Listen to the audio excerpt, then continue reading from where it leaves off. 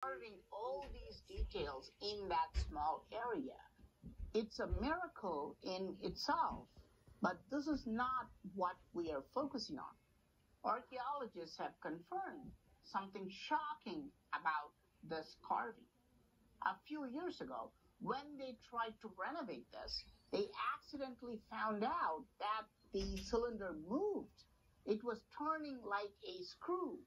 When they turned it more, they were to remove the cylinder separately like a modern bolt. You see, it has four sides or four facets of an octagon. The other four sides are on the other side. And yes, even today, you can unscrew this like a bolt and remove it.